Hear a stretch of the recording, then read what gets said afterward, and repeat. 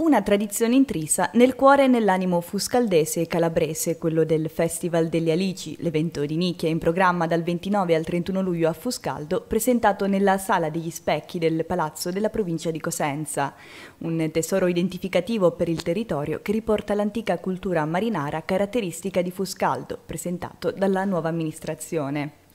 La Calabria, ma soprattutto la provincia di Cosenza, nel corso dell'estate offre davvero tante iniziative molto legate al territorio, tante che ormai storicizzate si presentano ogni anno. Fra queste il Festival delle Adici, che è proprio con il cuore della, della nostra provincia, sul Mar Tirreno, a Fuscaldo, si ripresenta quest'anno per festeggiare il decimo anno. La provincia di Cosenza ha voluto eh, patrocinare l'iniziativa, anche perché il suo ruolo istituzionale le consente tra l'altro di dare visibilità ed importanza a tutte le iniziative iniziative che sul territorio sono presenti. Eh, si parla in questo caso del Festival delle Adice di Fuscaldo, ma in realtà la provincia nella sua interezza offre davvero tante, eh, tanti eventi che riguardano eh, le zone balneari, le zone costiere, ma anche l'entroterra, tante attività legate molto all'identità territoriale, all'enogastronomia, alla cultura, ai balli, le danze, la musica e l'arte in genere.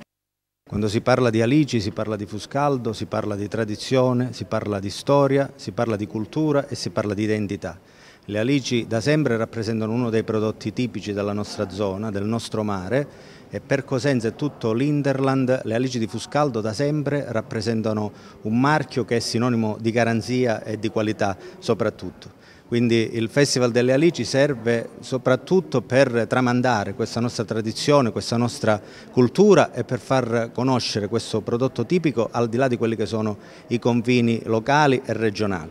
A sottolineare l'importanza della manifestazione marinara è stato l'intervento dell'assessore all'agricoltura Gianluca Gallo, facendo luce sui fattori strategici dell'evento. L'Europa ci dice eh, che in futuro diminuiranno le giornate di pesca ed è chiaro che noi dobbiamo chiedere alla nostra marineria innanzitutto di essere più moderna perché bisogna eh, migliorare dal punto di vista tecnologico e avanzare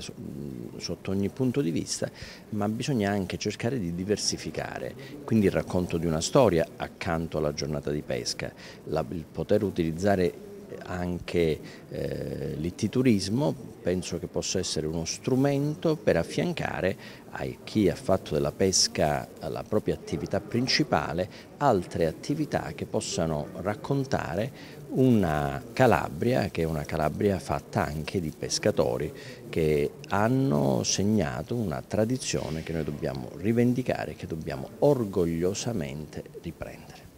Mare, tradizione, buon cibo è la triade che caratterizzerà ancora una volta la bellezza della Calabria, in onore del prezioso simbolo che famiglie e pescatori tramandano da generazioni.